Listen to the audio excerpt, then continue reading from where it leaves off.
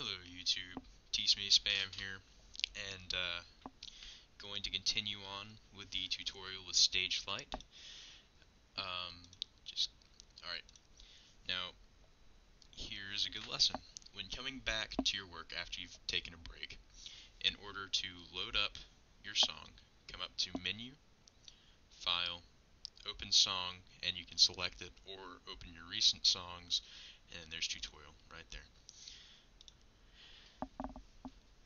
Then we let that load. Um, this video is going to focus on adding the mid-range to sort of fill up the song and add a little bit meat to the skin and bones. So we're going to want to add a new track. And again, like the last video, I like the analog synth. It's just simple. So I'll add that in. My original misconception when I was first messing with this was that you could use chords on your songs. Um, this was in D. So, um, here we go. Here's a good example of see how that played. Now, um, just a simple D chord. But when you listen to it, I'll solo this, you only get the top note. So, because of that, you have to have a different track for every level of your chord, which expands the song, but it is, it's doable, and it keeps everything simpler in the long run. So, for the mid-ranged area, I like to keep it between D2, well, the second octave and the third octave, but that's just personal preference.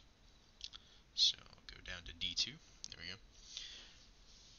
And I'll take this off of solo. And while I'm at it, solo is the S button. The M means mute. And, uh, so yeah, solo, mute. So now let's spacebar to uh, play.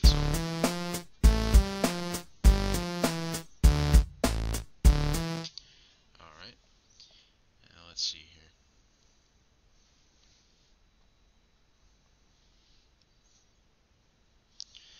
Again, this is where the creativity comes into it, so uh, we'll just see what comes of it.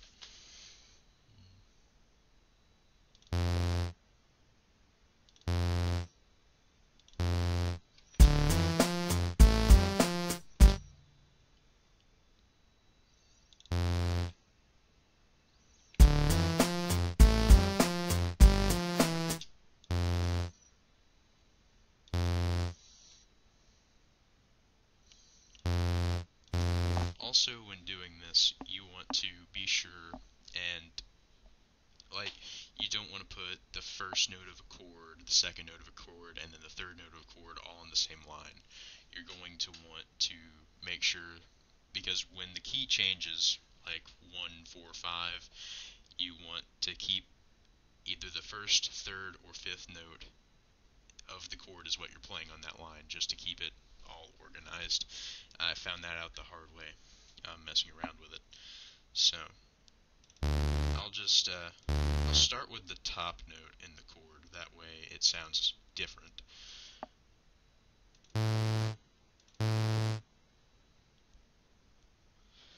Okay.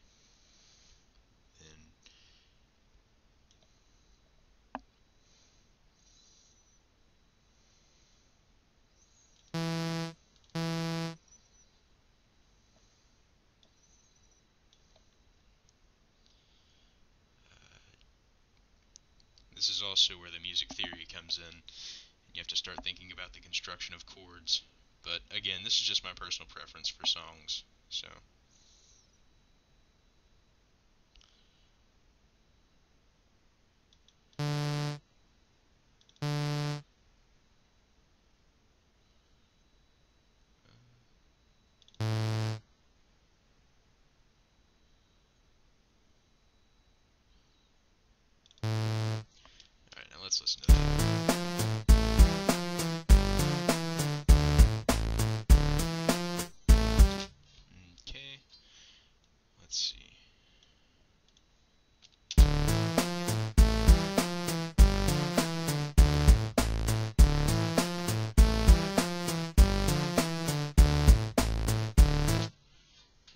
sounds pretty interesting. Alright, and so I'll close that. And again, save song. Now build on that chord. New instrument, add, let that load. Now this time, I'll do exactly the same thing that I did with the other one. So come down to uh, D2 through D3. Uh, there we go. Um, and there we go. Uh, this time I'll use the second note of the chord. That way it just sounds nice. And uh, keep it straight.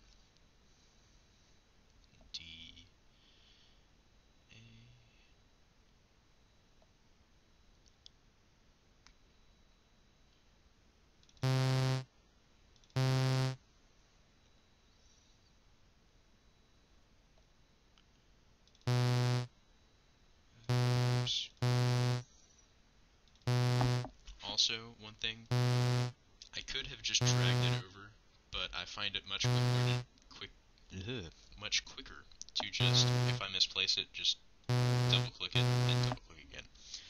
Again, personal preference, but that's just how I do that.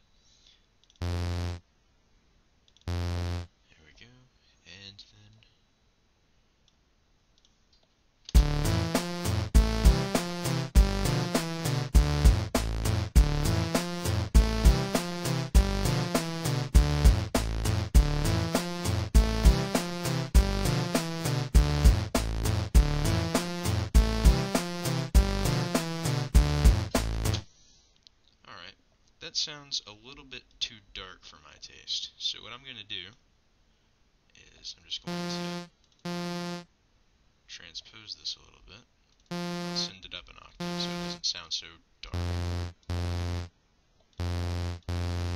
Actually, just for sake of curiosity, I'm going to listen to it like this.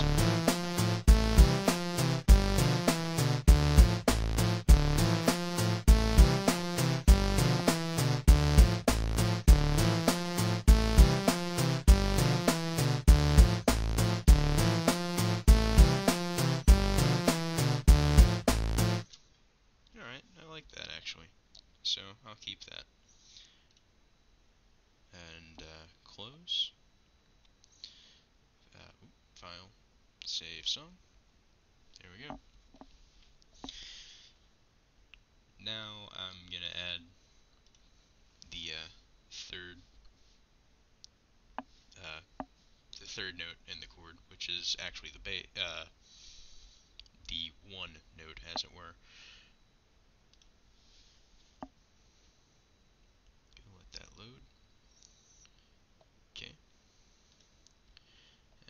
Because I thought it sounded a little bit too dark earlier, I'm going to actually send it up a little bit higher than I normally would. So I'll put it on the D3 instead of the D2. And uh,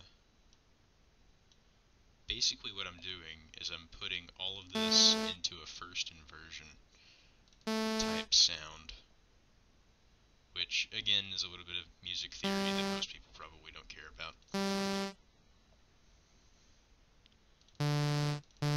There we go. And so it gets quicker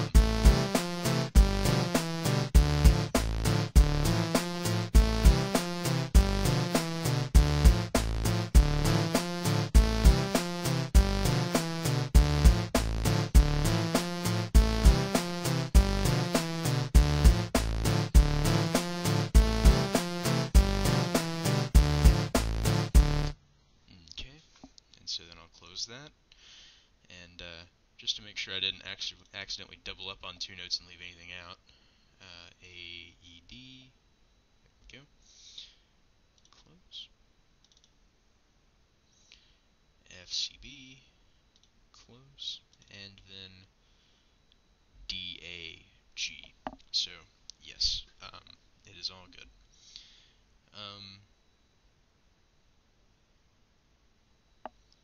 close that. There we go. And so now, instead of just having the uh,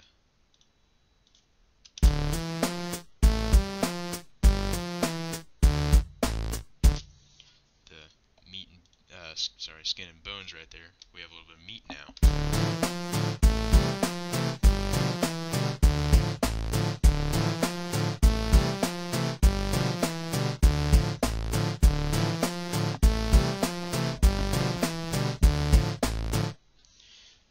Granted, this is a uh, this is a pretty hokey song. It is a song now, and uh, again, just for demonstration purposes, uh, I think it's a pretty good song.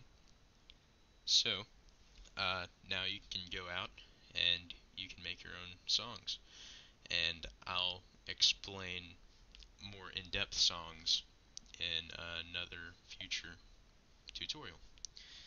Uh, thanks for watching, and uh, hope you come back next time.